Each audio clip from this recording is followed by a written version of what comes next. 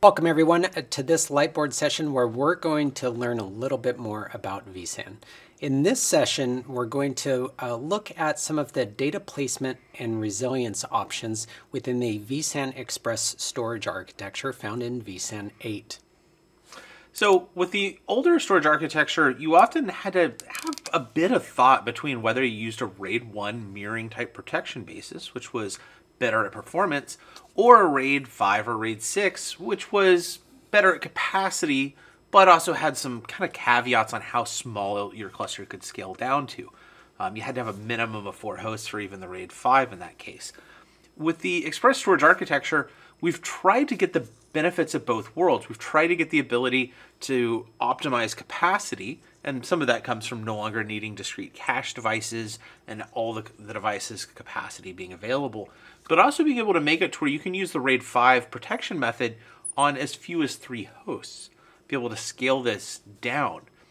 Um, and so by getting these benefits to where the performance um, very much behaves as a RAID 1 using the performance leg, the initial writes land in a mirrored structure, and then the capacity leg structure where that data goes out to for the capacity overhead, um, this kind of gives us the best of both worlds.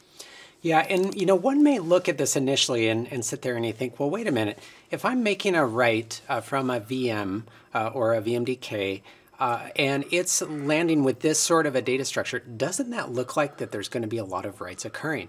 And the answer is no, once we understand how this works uh, a little better one of the layers in the uh, stack of the Express storage architecture is a log structured file system. And this is a way that we're able to um, uh, coalesce a lot of these little small writes and make them into this really efficient, fully aligned block so that then they can be written out in a very efficient full stripe write. So here, even though we are ingesting um, the, the, uh, the incoming writes that may be very small in a very quick way in the performance leg, we're setting it up so that then a single larger write uh, can occur for that very efficient full stripe write. That's where we're in fact saving a lot of, of opportunities or, or excess I/O activity and computational activity that would normally occur in sort of um, read, modify, write uh, uh, storage I/O patterns.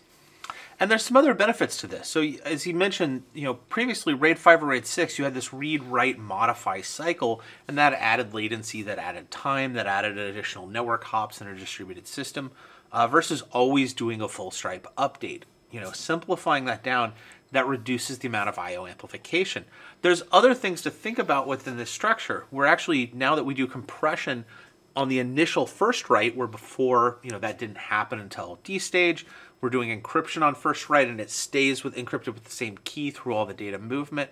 We're actually finding other ways to reduce the amount of CPU overhead as well as any potential I.O. amplification for things like metadata and checksums. One of the things that we're doing also here with this uh, data structure is we are uh, protecting the performance leg and the capacity leg at that same level of resilience, the FTT equals 2.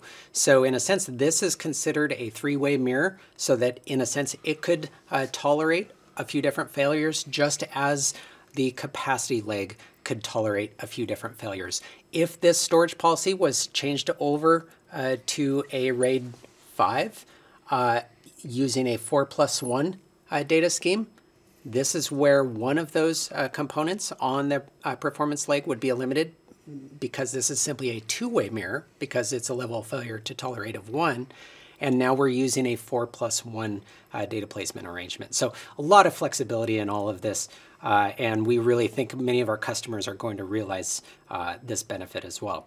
If you would like to learn more about uh, this uh, type of data placement scheme, as well as all new things about the vSAN Express storage architecture, feel free to go out to core.vmware.com, uh, and thank you very much.